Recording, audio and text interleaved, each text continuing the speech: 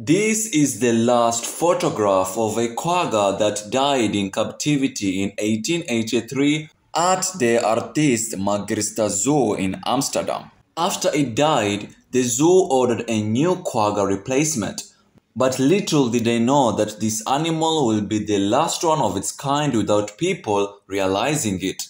This animal was indirectly driven to extinction by an invasive species, human beings.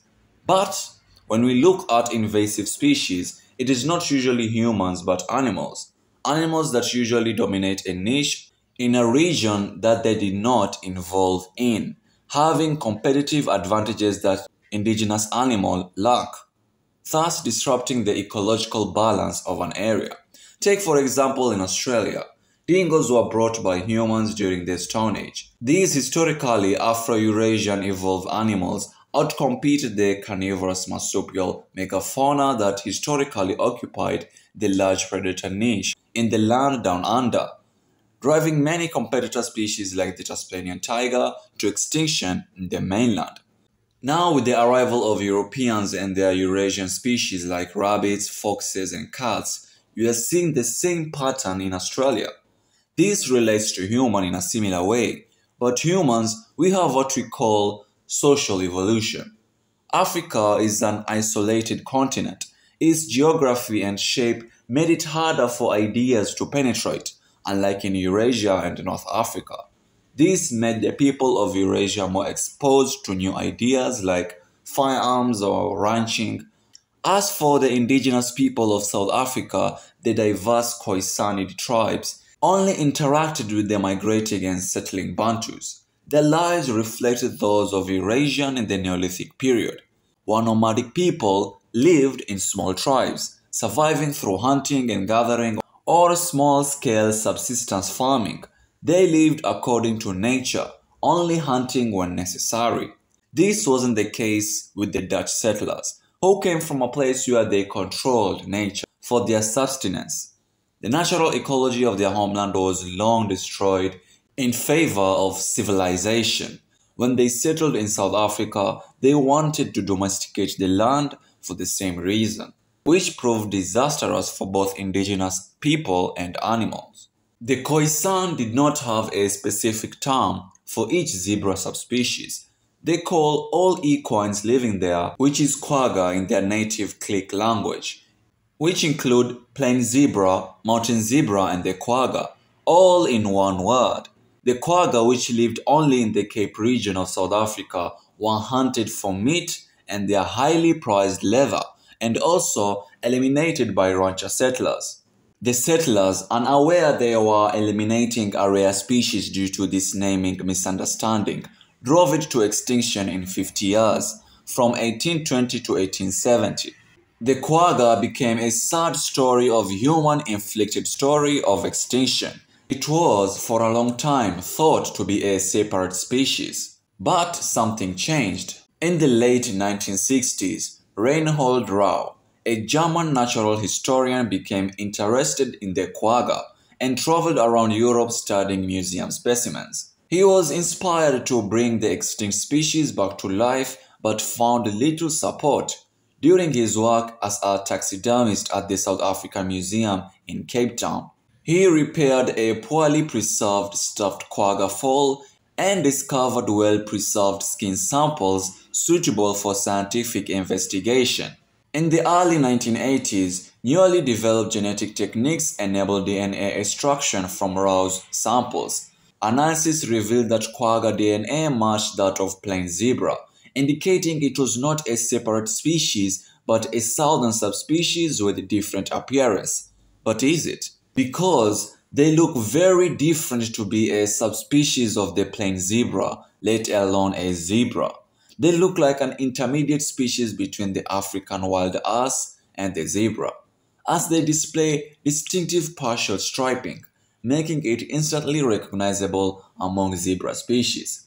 Its head, neck, and front shoulder feature dark brown to black stripes on a cream or light brownish background, but these stripes gradually faded and widened towards the midsection, giving way to a plain reddish-brown color on its rear quarters, legs, and belly. The face showed fewer stripes than other zebra, with more reddish base color and it possesses shorter, more rounded ears compared to other zebras. Its mane was shorter and more horse-like, featuring alternating brown and white sections. The quagga had a slightly shorter, stockier build than other zebra, with broader hooves adapted for harder grounds of the karoo. Their differences was more than physical. Their vocalization was different from zebra's typically bark whining sound. But I think in my opinion, they should redo the samples with the new technologies of today. But I don't think that the plain zebra can be selectively bred to be a quagga. But the good thing is that the newly bred animals are called Rau quaggas to acknowledge these differences because Rau used these findings to justify the quagga project, a selective breeding programs to resurrect the quagga. They developed a systematic approach photographing animals from both sides and evaluating five body areas for stripe patterns and background colors, with each generation showed closer resemblance to the original quaggas. Though achieving the darker background color proved challenging, that's why the new quagga might end up looking like stripeless white plain zebra. Critics view the project as a symbolic gesture that doesn't truly impact biodiversity conservation. While scientists focus on appearances, the original quagga's behavior traits remain unknown. But do not lose hope, as there are some depictions by the Cape Settler records in which might give us a window into their behavior. Disclaimer These facts are not proven by the scientific method, but these are written experiences with the wild quaggas. In the late 1700s, Dutch settler Reynier Reno made groundbreaking observations of the quagga. Reno spent countless days watching these fascinating creatures, noting how they formed remarkable bonds with his domestic horses.